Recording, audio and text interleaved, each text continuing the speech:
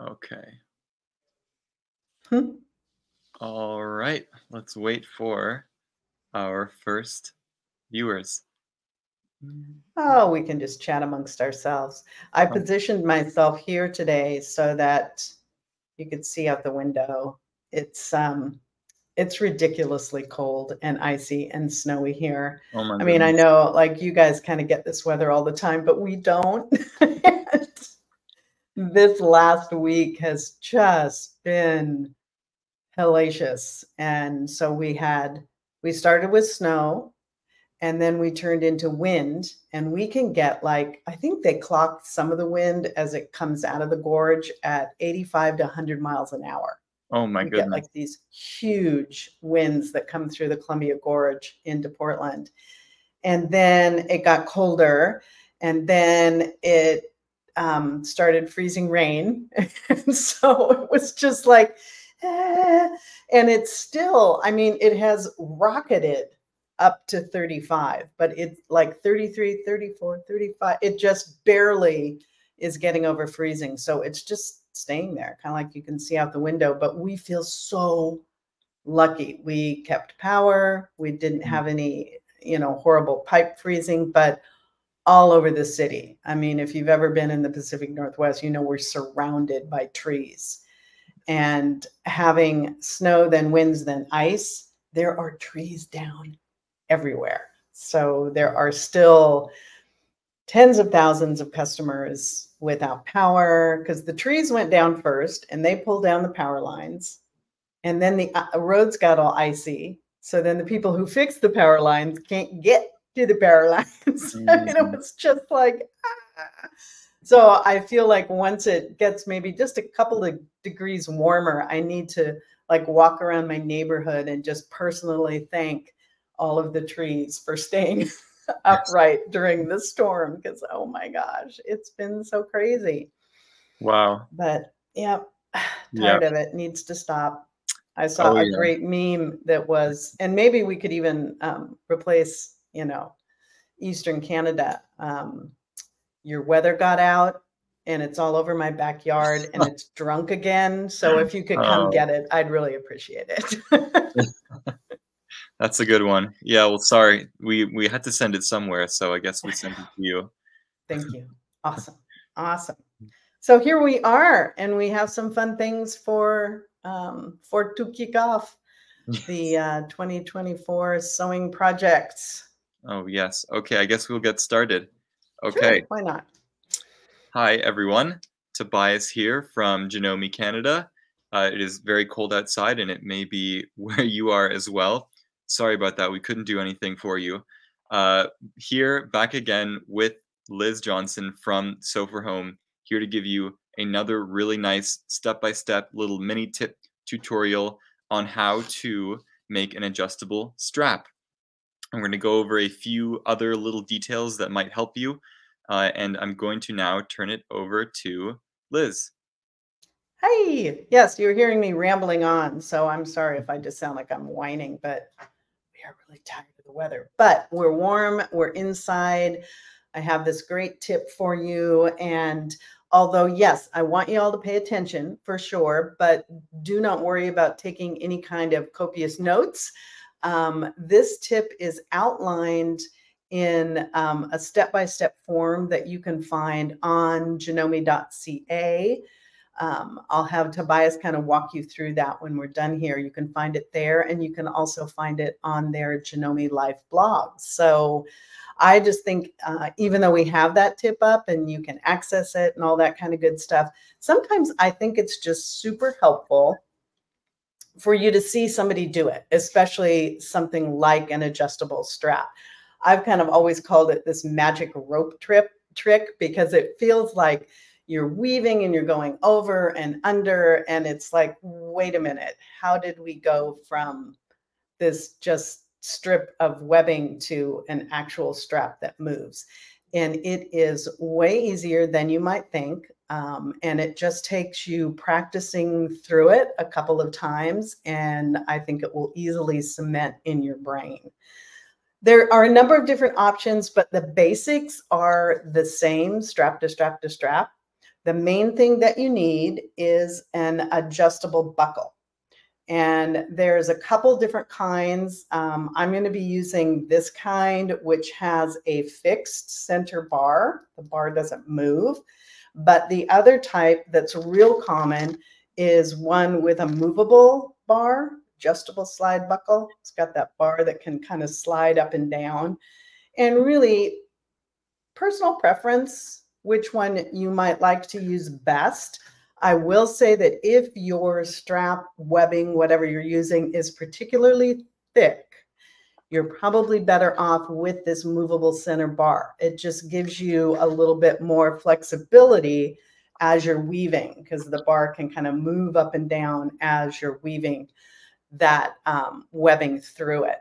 But I'm going to use this one. And everything I'm doing is just one inch. Um, you can go a little bit smaller um, and you can go a little bit bigger. But um, I think in terms of readily available hardware, I don't know. And maybe Tobias, you've seen something. You hmm. can, of course, go down to little tiny lingerie stuff. Um, and I, I think the largest I've seen is maybe two and a half inch, but mm. all your hardware has to match. And so I think probably that one, one and a half inch, two inch is probably the most standard. Yeah, one is definitely the most common, then one and a half and three quarters, but definitely one is the easiest to find everything for. Yeah. And everything matching, mm, which sometimes exactly. that can be a challenge. so I'm going to go with this guy. Oh. And um, the other thing, and Tobias is going to talk a little bit about this as well. If you're just starting out, if you haven't done this before, I really encourage you to practice with some sort of webbing, ribbon, whatever, strapping, belting, that you can tell what is the front and what is the back. And this is just something I threw together in about two seconds. It's just a strip of cotton webbing. Eh, it's probably about two feet here. And I just zigzagged a ribbon down one side. So I didn't really worry about anything. I'm not going to use this for anything, but it does allow me to easily see what is the front of the webbing and what is the back of the webbing. So once you have your strip, both the ends are going to be raw. Find your adjustable buckle. These, even these fixed ones, I would say the majority of the time, there's still just a tiny bit of a curve to it, almost like you would find in a belt buckle, just a little bit of a curve. So this is the front of the adjustable slide. So I'm going to take my webbing and I'm going to feed it up and over. So I'm going up and then down the other direction over that center bar. So there you go. And right side out. So I've gone up and over with the right side of the webbing out. I'm going to pull it back on itself, probably about an inch. I mean, it doesn't have to go super far back. In fact, if you can keep it a little tight, it will look a little neater. Um, but basically, you need to just be able to get it under your presser foot and run your stitching to secure it.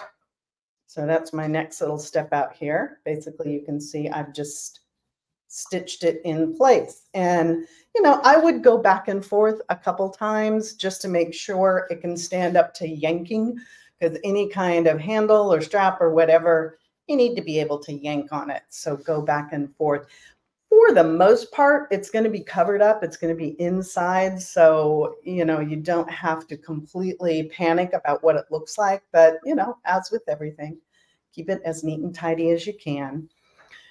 One thing to keep in mind, one of the options that there are is how to finish those raw ends. So you cut your length um, you can see that for my sample, I didn't really bother to do anything. And so it's already fraying up a little bit because this is just cotton webbing and little grosgrain ribbon. If this had been a real project, I definitely would have done something to finish that on both ends. For something like this with cotton, maybe a little bit of seam sealant, let that dry, and then a really tight zigzag. That would be a great way to finish it keep it nice and flat. You could certainly do a teeny tiny hem, but for the most part, adding any bulk is not my first choice. But if you have something really thin, um, again, our lingerie strap, our bra strap, perhaps you're just working with ribbon, something very fine, like a really delicate purse. Um, you could do a teeny tiny hem. So you're going to pull it through, you'd make that little teeny tiny hem, and then you'd stitch through right there to secure everything. So now that you have that in place, you're going to find the other important piece of hardware, which is most likely to be some sort of a D-ring rectangle ring, oval ring. It can be any of the above. And here is another option point. For this example, I'm just using a D-ring. I'm going to show you how to attach those that will then eventually clip to swivel clips that are already attached in my fantasy tote that I'm making this little itty bitty adjustable strap for. But like I said in the beginning, there's lots and lots of different ways, but you'll have some way that you're going to put that opposite free end through your ring. So hmm. again, here's my back. I'm going to slip that through. And right now, my wrong sides are facing one another. Just let the D-ring kind of slide to the bottom out of the way. And then I'm going to go back up and over, just like I did at the beginning, but I'm going over that loop that's already there.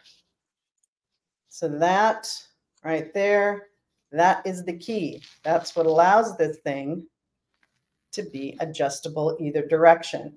So up, back over, going right over that secured part that you did originally.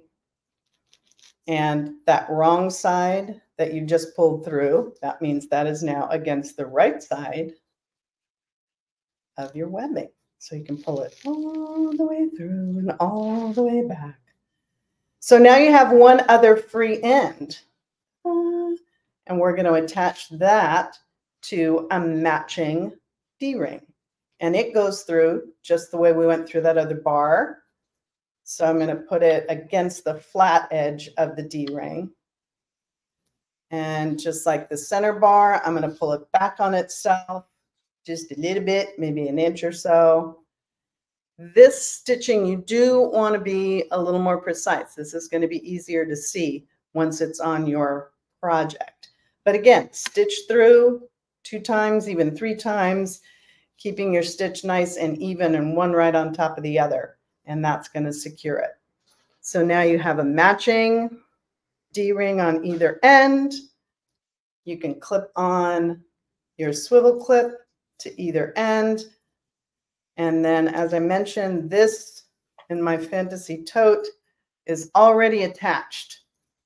It's already got a tab and it's in either side of a tote. So now I can take that adjustable strap on and off.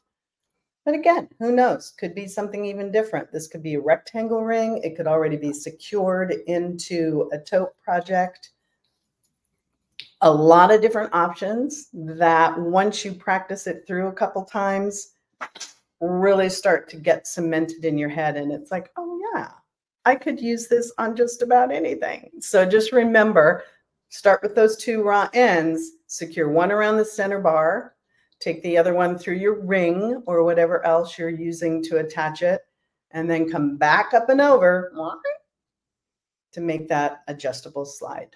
Hmm that and, end, now you're an adjustable strap expert. but Tobias, you said you had some cool tips too. Yeah, well, one thing done. I want to say first is I love this adjustable strap uh, because it's completely removable, like you said, and that makes the construction. Let's say you're making a bag, it makes it so much easier because you're not dealing with the bulk and all the the messiness of this while you're putting in the lining, flipping it all inside out. Because if you have right. the whole thing, then you kind of have to, you know, crumple it up and make sure it's not in the way of your sewing. So you, you do everything you need to do. You flip the bag right side out, you finish it, and then you just whoop, swivel hooks, clip the strap on, done, and it's so much easier. Uh, so yeah, the one thing that I wanted to show is there's a few different ways of uh, decorating your strap with fabric. And um, I'm not going to take credit for this because uh, Amanda, our fellow educator, is the one who taught me this. Um, this really easy, foolproof way of um, decorating it with fabric. So I'm using a one inch strap here. I'm going to use that as my uh, base measurement. So what I've done is I cut a two inch wide strip of this fabric, two inches wide, folded it in half, gave it a press, and then I stitched along the raw edge at a quarter of an inch. I'm going to try to stitch yep. along at a quarter of an inch. So now we've got a folded two inch strip with a stitch a quarter inch. Then I folded it folded the stitching over to one side and gave that a press. And that left me with the perfect covering for a strap. And all I did was I just put it in the center, clipped it in place, and top stitched it down on both sides. So it's just a really, really easy and fool foolproof to get good results, this method. Fold, quarter inch stitch, fold the quarter inch over, press, put it in the middle, and top stitch. And what I like to use for edge stitching or top stitching, as I'm sure a lot of you know, is the bi-level foot because it has two different sort of levels on each toe and that lets the fabric accent sort of ride along the edge of the foot and it makes it really easy to top stitch that consistently. And so that's awesome. my that's my one little tip about covering the strap with a bit of fabric. I love that. You know, we've used that technique, not that exact way, but a lot of times on bags where you know you're already working with maybe two or three different fabrics and that is such an excellent way to tie the strap mm. into what the bag looks like because i mean we run into that all the time the amount of variety the colors whatever that's available in webbing especially as you start to you know vary away maybe from that one inch mm. norm pretty limited pretty limited so by adding that fabric strip to the top um, not only does it make it easier to do it looks great with whatever bag or tote or bin that you're making. And Tobias, you do way more um, garment sewing than we do. I mean, besides my little bra strap analogy, is there anything? I mean, what else? I guess you could kind of maybe do like overall straps, although you're usually using an overall buckle for yes. that. But may I don't know. Maybe you could.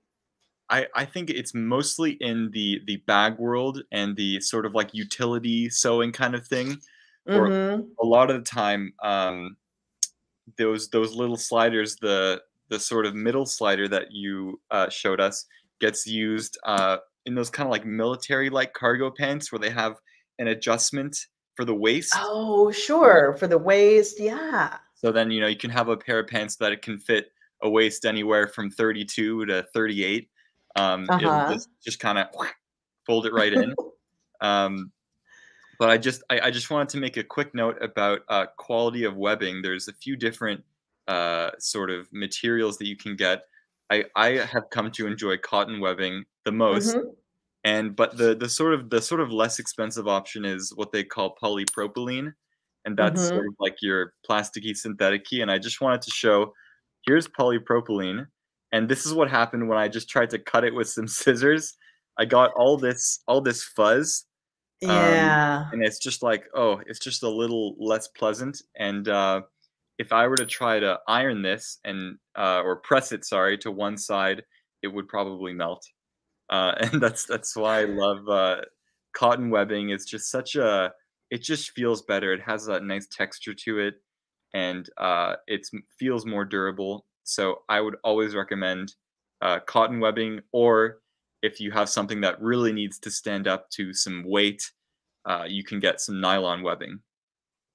There's one that we've used a number of times also because it tends to come in um, wider widths and Mm. it's called like seatbelt webbing. Oh, so yeah. it's the same kind of consistency of the seatbelt in your car.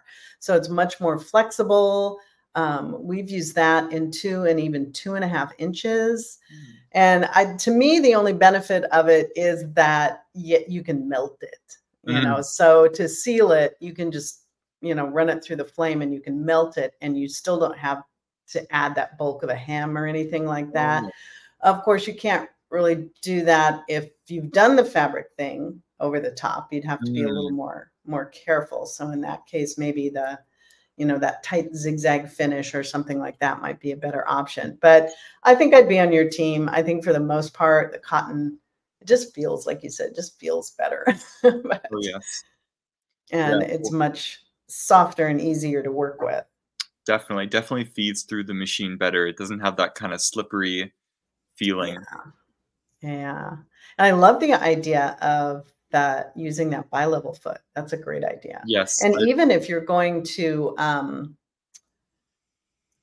if part of your strapping um, design, if you're putting that on the front of a tote or something like that, um, maybe Mm, the bottom of it comes up across the front of the tote using the bi-level to stitch that down onto the pa- the panel of the bag is another great option for that it's just such a great foot Yes. and i mean it's one of those like oh that is such an easy idea you know i can't yeah. why didn't i think of that you know that's that why didn't Sure. i think of that I, I have I have just the thing. So yeah, like it, uh, this is. I'm going to turn the exposure down on the on the camera there. There we go. oh there we Uh, go So oh cute yeah The, the strap has been stitched directly onto the bag. yeah So it's it's the decorated strap that I just showed, and then there, and then yeah, we use the the bi-level foot, just like that. If you can imagine this on the machine to sort of guide, because it'll it'll keep that strap right in the same place and give you a really nice edge stitching result. And if because it's using the same thread as or the same color thread as the strap, so Mhm. you can't even see the stitching that's on the edge of the strap there. that's so great Really, really nice. Yeah. A lot of different awesome presser foot a lot of different uh options for the presser foot. It's one of those ones that it's a very simple foot, but it works for so many different things, which Yeah. is why I love it. It's super cool. Um, I wanted to ask because I saw your, like I said, I saw your very, very cute social media video. You have an excellent workshop coming up for those of you in the um, Oakville area. You want to tell people about your serger class? Absolutely. I'm very excited. So on January 27th, we are having a Serger Basics class. And so that it's exactly what it sounds like. Uh, you bring your Serger and we're going to set up and we're basically going to walk through, first of all, how a Serger works. Uh, I have a really cool animation. You've probably seen it for a regular sewing machine of how how the hook and grabs oh the thread and does all that. So we, uh, I have one for a serger, and we're going to look at it. Going to talk about when to use a serger, when not to use it, and then we're actually going to get hands-on. Going to go through how to thread the serger, how to adjust tensions for different fabrics, uh, differential feed. That's that's one that uh, people definitely brush up on. "Mm, yeah. Oh yeah. You know when when do mm." I go up? When do I go down? Mm. Um, and uh, we're yeah basically going through basic use of your serger. Uh, and at the end, we're going to have a Q&A session. So it's it's really for uh, people who are new to, new to sergers, or if you haven't used yours in a few years, maybe, and you want to brush up on the basics, uh, that is for you. So if you want to sign up, you can go to, I'm going to type it in the comments, shop.janome.ca. And uh, there's a lot of other cool stuff on that website. So just browse and uh, maybe sign up. And uh, that sounds great. Thank you. Yeah, it's going to be the first of a few a few things we have going on in the winter. We're going to have a really cool uh well, I don't want to spoil anything, but we're going to have a cool uh sort of like bag making, make and take class towards the end of February. So uh, keep your eyes peeled for more information about that. But as of right now, we are we're staying simple and we're doing the Serger basics. That's excellent. That is so cool. Um, maybe just real quick, because I had promised people, and you can show them the shop.ca. Maybe share oh. your your screen and let's show them kind of how to get to that, as well as how to find um, the adjustable straps tutorial Absolutely. if they want to go check that out. And because I know it's both on the main site as well as on the Janome Life blog. Yes. I told people they didn't have to take notes. now they have to they have to remember how to do everything. Okay. Sharing the screen. Here we go. Okay. Okay. You can see it? Yep, sure can. Okay. So we're on janome.ca here, and now we're going to get to the adjustable strap instructions. So we go to Inspire, then we go to Sew4Home, and it's under uh, mini tips. So there's a whole bunch of mini tips, and we're going to click to see all the mini tips, and it's right up there at the top here. How to make an adjustable strap with Sew4Home. And so you can, we have it in English and in French. So we're going to click the English one, and that just brings you over to the blog where it is written out in full. And uh, it's it's also linked to the Facebook post that I made about this live. It's linked in there as well if that's quicker for you to get to. But uh, that's how you get to it from janome.ca. And that brings you through all of what we did just for a refresher gives you some good tips about covering your strap with fabric and all that. So that's there for you. And yeah, like like we said, you go to shop.janome.ca. We have, ooh, let's see. We actually have a few things on there. We've got the chair, we've got the scissor Super kit. good deals. Got Super the, good the, deals. The sewing kit especially, that's the one that I would bring most attention to. Really great oh, deal. Wow. That's so cool.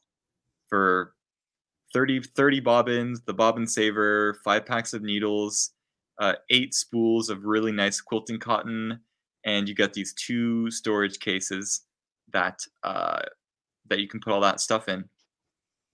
Oh, that's really, super really great. Nice deal. We sold a lot of them, and we we have a few left. So if you're kind of in the market for one, the time would be now because there's limited stock. So just thought I would let you know. Yeah, uh, that's a great idea. So what have you got here? You've got classes and events. Classes and okay. events. There we go. Here we have the Serger Basics.